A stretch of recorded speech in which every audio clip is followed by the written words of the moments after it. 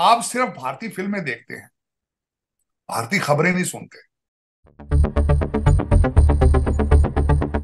Sir, आपने statement सुनी होगी, देखी होगी। आज से पहले तक हमें दूसरे कंट्रीज़ जब कहते थे तो कहीं ना कहीं यूएई हो गया सऊदिया हो गया तुर्की हो गया, कुछ ना कुछ हमें सपोर्ट करते थे, हमें बैक करते थे कि नहीं जी, हम पाकिस्तान के साथ खड़े हैं। अब तो इंडिया और यूएई मिलके ये कहते नज़र आ रहे हैं कि पाकिस्तान को चाहिए कि क्रॉस बॉर्डर टेररिज्म को कंट्रोल करे, इसके ऊपर काम करे। क्या कहना चाहेंगे, सर?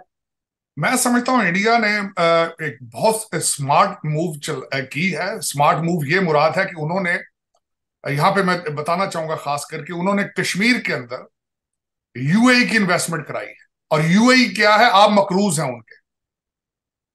अब यूएई की स्टेटमेंट आना कोई मज़ाक नहीं है। जिनसे पैसे लेकर आप लंदन और दुबई में प्रोजेक्ट चला रहे हैं अब वो कह रहे हैं बस करो भी हम बर्दाश्त नहीं करेंगे। और दूसरा मुल्क जो उनके साथ खड़ा होगा यूएई के साथ वो सऊदी अरेबिया होगा।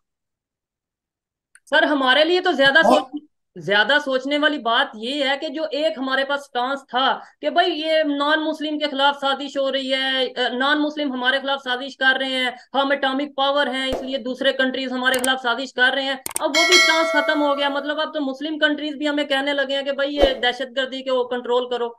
ये बड़ी फ़िक्र वाली बात है। देखिए पाकिस्तान के अंदर पहले जब भी जो चीज़ जब भी जब भी मैं कहता हूँ कि कोई सिलेंडर फटे तो क्या देते हैं रा इन्वॉल्व है मुसाद इन्वॉल्व है इसके अंदर। को गैस का सिलेंडर फटता है किसी रेस्टोरेंट में किसी चौक में कहते हैं कि ये लग रहा है कि इसराइल ने साजिश की है रा ने साजिश की है क्योंकि उन्होंने किसी ना किसी को ब्लेम करना होता है स्वाय अपने आप को। और जिस तरह मैं बता रहा था कि उसका हल इंडिया ने निकाल लिया है कि उन्होंने कश्मीर में और सारी इन्वेस्टमेंट जो करा दी है सऊदी अरेबिया और यूएई की जो आपको कर्ज देते हैं जो आपको कर्ज के तोहफे देते हैं जो आप तोहफे लेकर आते हैं कहते हैं कि जी आ, आ, हम हमने कौम को तोहफा दिया है कर्ज का तो अब उनसे कराई इन्वेस्टमेंट ताकि आपको आपके ऊपर प्रेशर आ सके। और वही प्रेशर उसके रिज़ल्ट में आज यूएई ने कहा है कि अपने इन चीज़ों को रोका जाए इनको देखा जाए। लेकिन मैं समझता हूँ कि अब आप कह रहे हैं यूएई ने स्टेटमेंट दी मुसलमान मुल्कों ने स्टेटमेंट दी है। सात मुसलमान मुल्कों ने मोदी साहब को हाई सिविलियन अवार्ड पहले दिए।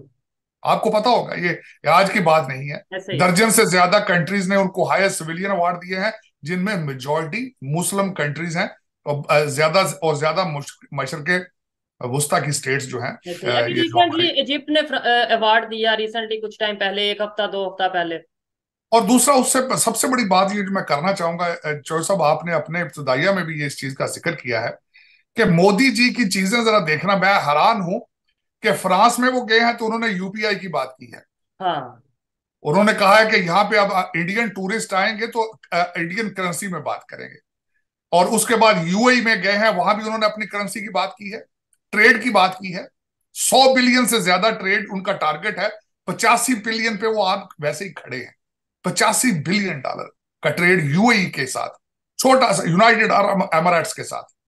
और जहाँ जाते हैं, और दूसरा, अपने डायस्परा को प्रमोट करते हैं। फ्रांस के अंदर गए हैं, मेक इन इंडिया, ये उनका फोकस था उसके ऊपर। और उस, आपने देखा होगा, तीन आप दोजें जो ली हैं, वो मेड इन इंडिया हैं।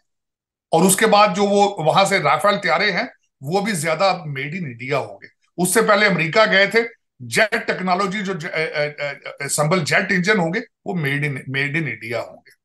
अब मैं उस पर यही कहूँगा, मैं, मेरे आपसे बल्कि क्वेश्चन है ये, चोई साहब। आपने आज तक, आज की डेट तक किसी पाकिस्तानी लीडर के मुँह से सुना है मेक इन पाकिस्तान? आपने किसी लीडर के मुँह से सुना है लेट्स डिजिटाइज पाकिस्तान? किसी लीडर ने आज तक ये चीखते हैं कि टैक्स लोग नहीं देते टैक्स लोग नहीं देते। यहाँ पे यूपीआई के बराबर कोई चीज़ आप बना लें ताकि लोग डिजिटाइज हो जाए और हर चीज़ रैकेट के ऊपर आ जाए। ब्राज़ील कॉपी कर रहा है भारत के यूपीआई सिस्टम इस वक्त 330 बैंक हैं, ये भारतीय, जो यूपीआई इस्तेमाल कर रहे हैं। दस इंटरनेशनल कंट्रीज़ हैं जो इस वक्त यूपीआई इस्तेमाल कर रहे हैं। या जिनमें इंडियन करेंसी के साथ। लेकिन मैं आप आपकी ये क्या वजह? है दस में दस शायद ऑफिशियली यूज़ कर रहे होंगे जहाँ पे यूज़ किया जा सकता है यू, यूपी लेकिन मैं भी देख रहा था ऑलमोस्ट तीस से चालीस कंट्री हैं जहाँ पे बात हो रही है जिनमें बड़े बड़े कंट्री हैं। सर यूएई की बात करें ओमान सऊदी अरेबिया इसके अलावा मलेशिया है हांगकांग जापान बेल्जियम और स्विट्जरलैंड कतर इस तरह के बहुत से ऐसे लंबी लिस्ट है। तो ये आपको नहीं लगता कि इंटरनेशनल लेवल पे वैल्यू बढ़ती जा रही है इंडियन रुपी की या अगर यूपीआई की बात करें हम? देखिए यूपीआई वो तो, मैं तो मैं बल्कि सबसे अमेरिका से आज शुरू हुआ है जब मैं मोदी जी की ट्रिप देख रहा था कि अमेरिका से निकले हैं फ्रांस गए हैं फ्रांस से यूएई गए हैं। इस मीन टाइम वो सैटेलाइट उन्होंने भेज दिया चाँद को भी काबू करने के चक्कर में है। लेकिन मैं दूसरी तरफ़ देखता हूँ हमारा आपकी नेशनल न्यूज़ क्या है? आपकी नेशनल न्यूज़ है कि नजफ हमीद के घर से एक करोड़ सात लाख रुपए का डाका हुआ, चोरी हुई। है नजफ हमीद कौन है? एक आर्मी जनरल का भाई है, पटवारी है। उसके घर से एक करोड़ सात लाख निकल रहा है। आपकी नेशनल न्यूज़ ये चल रही तो ये डिफरेंस ये है। लेकिन मेरा अफसोस, मैं देखता है बात, क्या आपके चले आपने टीवी तो ब्लॉक कर दिया है, भारतीय खबरें। ना दिखाते हैं, ना आप प्रमोट करते हैं, ना आपकी कौम जो है नई यूथ है वो इंटरेस्टेड ही नहीं है। लेकिन जो लीडर है आपके सारे, वो सारे बाहर के पड़े हैं। क्या वो देखते नहीं है कि हमारे पड़ोस में क्या हो रहा है? आपको लूटने वाले सारे ऑक्सफोर्ड ग्रेजुएट हैं कैम्ब्रिज के पड़े हैं। वो तो खबरें देखते होंगे। उन्हें पता नहीं है कि पड़ोस जो है वो कहाँ जा रहा है हमारा और हम किन बस्तियों में जा रहे हैं। अब आपके पठान भाई अफगानी, वो भी आपका मज़ाक उड़ाते हैं। वो भी कहते हैं क्रॉस बॉर्डर जो कुछ हो रहा है, हम उससे परेशान है। शर्म भी नहीं आती अभी इनको कभी वन से वाइल अगर सोचें।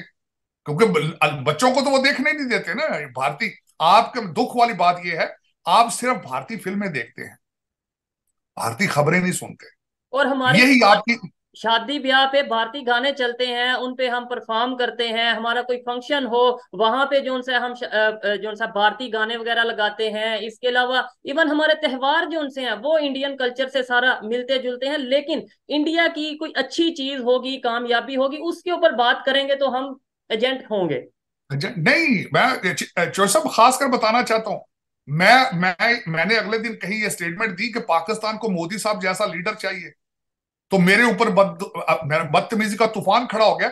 लीडर, मेरा मकसद ये था कि उन्होंने भारत को नेशनलिज्म दिया है। आपको भी चाहिए कि आपका लीडर कोई ऐसा हो जो नेशनलिज्म दे सके।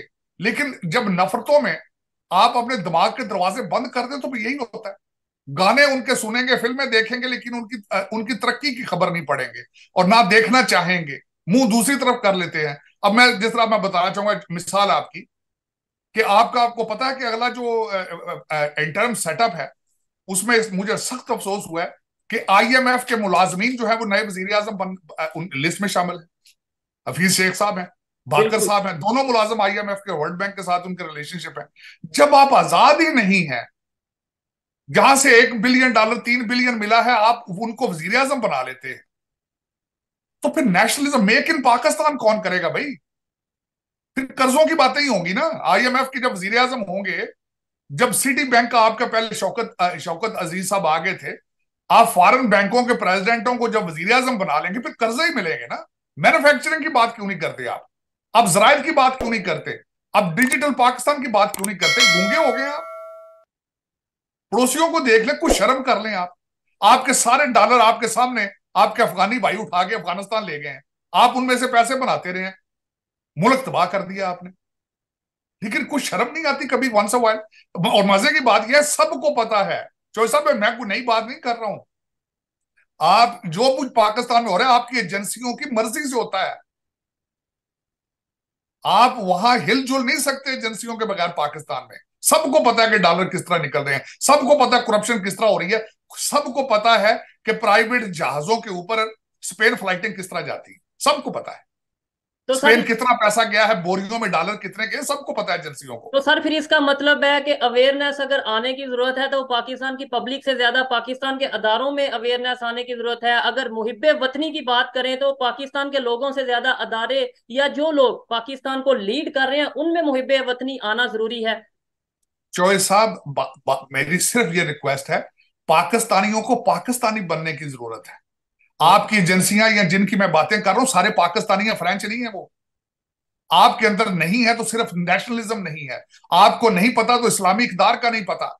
आप जिसको पकड़ते हैं जिसको जरा देखते हैं हैंडसम है उसको मुर्शद बना लेते हैं आप।